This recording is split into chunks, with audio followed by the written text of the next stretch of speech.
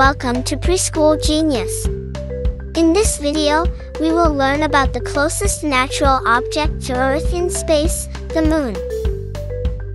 The Moon is a big round object you can see in the sky at night, and it looks like a giant glowing ball that shines in the dark. The Moon is also Earth's only natural satellite, and it is also the second brightest object in the sky after the Sun. In fact, one of the first images you likely have in mind when picturing the night sky is the moon glowing in the shadows. Since ancient times, the moon has always held a special place in our imagination and daily lives. It's no wonder that we are fascinated. While the moon seems to shine bright in the night sky, it doesn't emit its own light. We can see the moon because it reflects the light from the sun. From Earth, it might look like the moon is changing shape each night, and we call these changes phases. From our spot on Earth, we see different parts of the moon lit up by the sun as the moon travel in its orbit. That's why sometimes it looks like a big round cookie, and sometimes it looks like a banana. The moon is also made mainly of rock. There are many craters or holes on the surface. As pieces of rock and metal known as meteorite collide with the moon, craters are created.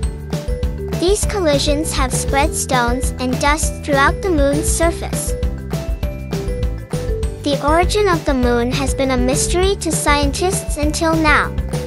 According to a widely accepted idea, Earth was struck by Theia, a Mars-sized object, 4.5 billion years ago. The result of the collision's debris clumped together is now become our moon. The moon may be extremely hot or cold, and temperatures may rise as high as 127 degrees Celsius when the sun touches its surface.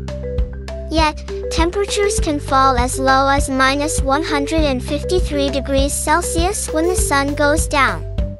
So chilly, the average distance between the Moon and Earth is about 238,000 miles.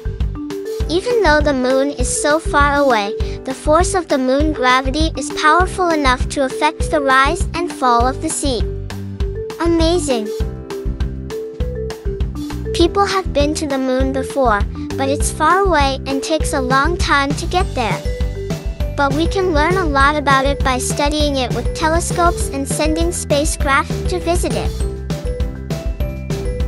So that's a little bit about the moon. Hope you enjoyed learning about the moon with me today. Thanks for watching. See you in the next video. Bye.